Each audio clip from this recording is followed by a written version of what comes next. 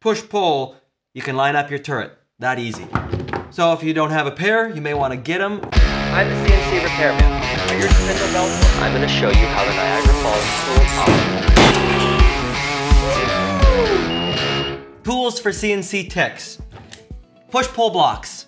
If you have an ST lathe and you need to align it, or maybe one day you're gonna have it aligned, go around to the back, pull the sheet metal off and look. On the top of the x-axis where the turret box mounts, do you have a set of these push-pull blocks? If you do, good, you're in luck. But if you don't, you may wanna get a pair because if the turret runs into the spindle or you run down to the tailstock, the turret can get crooked and then your drills aren't straight, your turning tools aren't on center, you'll need to adjust it.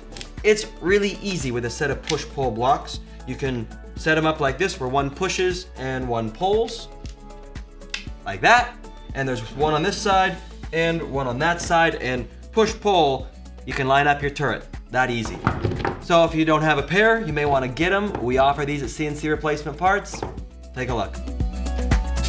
that did not work. If you don't have a pair, if we offer them, we can redo that whole thing.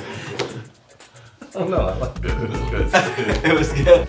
It was good. Get a pair. Pair, get a pair. I, I'm good with that if you're good with that.